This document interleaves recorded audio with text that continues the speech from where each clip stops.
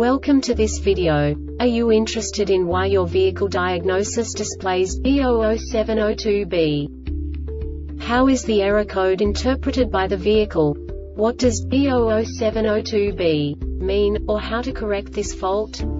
Today we will find answers to these questions together. Let's do this. First, let's look at the history of diagnostic fault code composition according to the OBD2 protocol, which is unified for all automakers since 2000.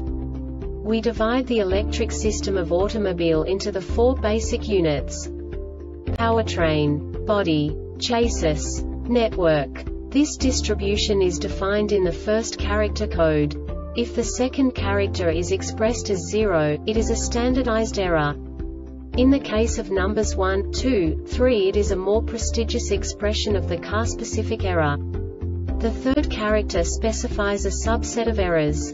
The distribution shown is valid only for the standardized DTC code. Only the last two characters define the specific fault of the group. The add-on to the error code serves to specify the status in more detail.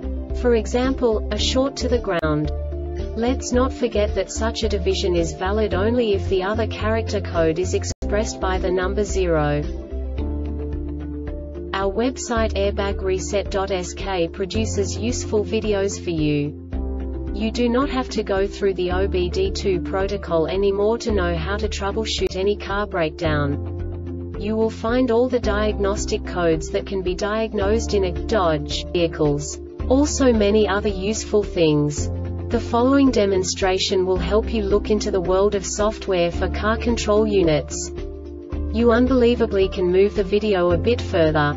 The error code is split into two bytes consisting of 16 bits. One bit is the basic unit that each computer works with. The bit has two logical states. 0, low level, 1, high level. By combining the first two bits, the basic character of the error code is expressed. The next two bits again determine the second character.